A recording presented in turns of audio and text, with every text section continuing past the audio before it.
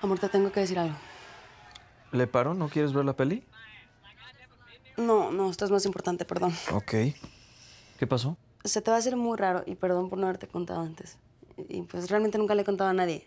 Este, ves algo que a mí me pasa desde niña y, y, y no lo cuento porque yo sé que es raro. Es, es raro y es bronca mía. No eres tú, soy yo. Es, es bronca mía. Me estás asustando. Veo gente muerta. Listo, ya lo dije. Y también las escucho. A ver, ¿me estás diciendo que hay alguien con nosotros ahora? Sí, un hombre. Ah, ¿Y, ¿Y dónde está? En el sillón. Mm, ¿Y cómo es él? Pues es barbón, eh, tiene mirada triste, trae ropa interior, parece que no se ha bañado en 10 años. Amor, esta es tu peor broma de la vida. Casi me la creo, ¿eh? Cállate. ¡Oh, está asustado!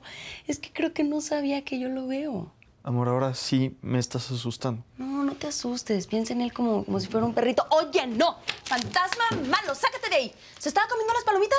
A ver, es un hombre muerto, no una mascota. Sí, pero es un divino. Que no te preocupes. Lleva años con nosotros. Está aquí desde que llegamos. Por cierto, ella está de tu, de tu lado.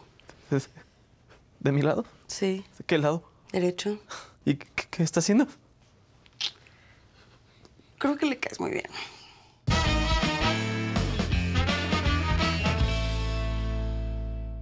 Ve, tiene carita triste. Es bueno. Ya aprendió a traerme las llaves, me trae papel de baño cuando se me acaba. Anda, juega con él.